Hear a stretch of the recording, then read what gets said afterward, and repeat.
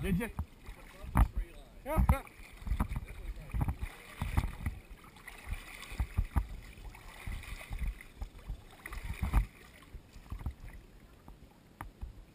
hey kids, are you guys having fun?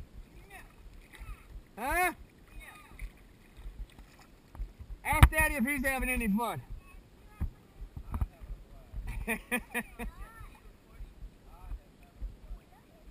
I haven't seen you go off there today.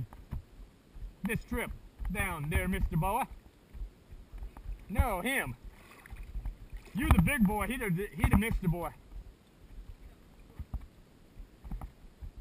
What you cut your foot for? Oh, okay. It was a cool thing to do. Yeah, I thought uh, the rest of them were coming. I thought, uh, yeah, I thought her and uh, Chelsea were coming. Huh.